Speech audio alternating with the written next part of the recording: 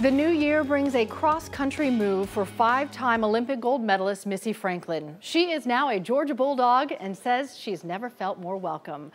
Hers is a story that shows that elite sport comes with the ultimate contrast between unprecedented achievement and painful disappointments. Missy has faced those situations with the same faith and optimism she now brings to Athens. Beginnings. They happen many times over in life, sometimes by circumstances we cannot control, sometimes by choice, or both. I love the people, I love the school. This is the backdrop of a new beginning for five time Olympic gold medalist Missy Franklin.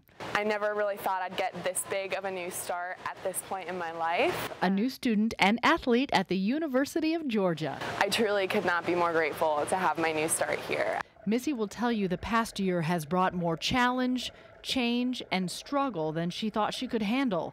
She'll also tell you she's grateful for it. Those can be some of the most influential times in our life. So I almost think we should have more a more grateful attitude to the hard things than we should for, for the good things because all of it is meant to be and all of it shapes us into who we're supposed to become.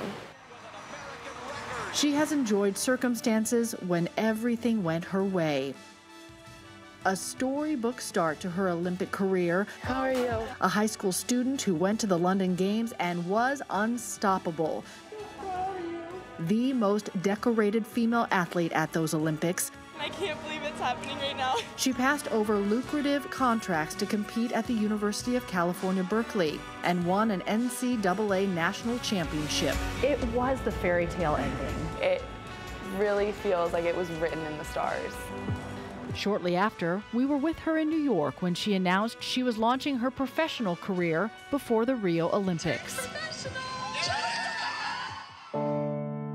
Rio brought circumstances where nothing went right beyond disappointing swims and baffling at the time. It's hard. Um, I don't really know. She has since had double shoulder surgery to repair damage. Getting my bilateral shoulder surgery was a doozy, for sure.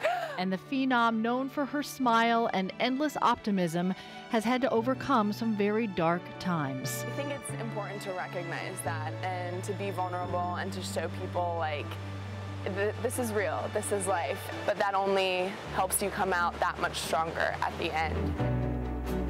All of those circumstances have led Missy Franklin to this choice to be in Georgia with a new coach. He said, Miss, like, I'm not just here to make you a great swimmer, I'm here to make you the best you've ever been. Missy truly believes the best is still to come. And that just gets me so excited and gives me so much to look forward to.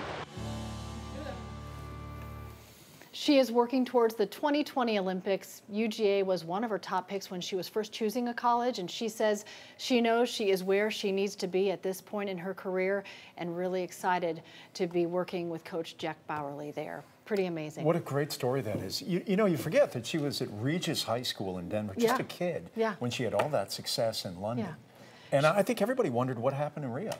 She was injured in a way she didn't even know. Hmm. That shoulder surgery was really necessary, and she'd had some back injury too. But she wow. came home to find out what was going on and, and had surgery as a result and has really climbed her way back from that point and says she's learned so much. She's got a different kind of um, depth and maturity that she, as as she's gotten older. She's just 22 and she's had so much life experience and really uh, going to be exciting to see what happens next. And I'm so excited for the state of Georgia to get to cheer her on. I've known her since she was 10. And the one thing I'll tell you is she's had the same humility, down to earth character, and kindness since then. She didn't lose it through her highest highs or her lowest lows. An extraordinary athlete. Yeah. And it will be very exciting to see her in her journey toward 2020. Yeah, go dogs. Ah, go dogs.